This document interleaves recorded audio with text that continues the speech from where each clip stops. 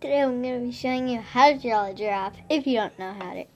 So, you first start off with the draw a little circle on your page, little towards the bottom. Alright, and then you're going to do two little lines like that. Then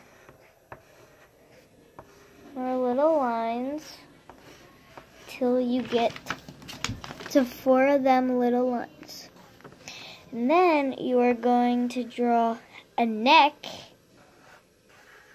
coming out right there. And then you're going to draw a big head with ears. Then you're going to want to draw little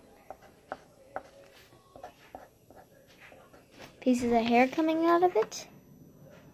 I don't know if you guys can see that. And then you're going to want to draw a little cute smile with eyes.